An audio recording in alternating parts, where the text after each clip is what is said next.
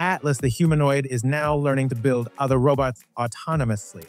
The leading Massachusetts-based robotics firm, Boston Dynamics, just shared this demo footage showcasing the progress its world-famous humanoid is making learning tasks on its own.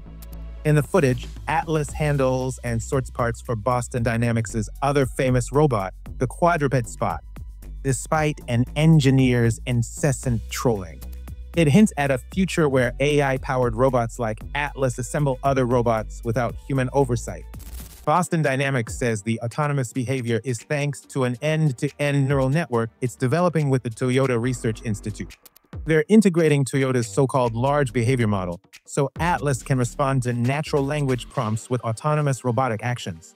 Boston Dynamics has built a hybrid training loop to make transitions from simulation to reality as painless as possible.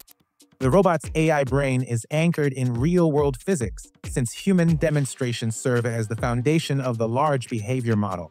Digital twins replicate all 78 degrees of freedom of Atlas and simulate how each of its joints and motors work, down to tiny forces and micro-movements.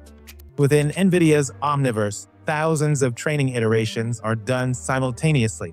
After simulation training, the physical robot runs through real-world evaluation tasks. Failures are logged, Corrections are made via teleoperation, and those adjustments get fed back into the dataset. Atlas, which began as a DARPA project in 2012, is getting its learn on as it prepares for its first real job working for its parent company, Hyundai.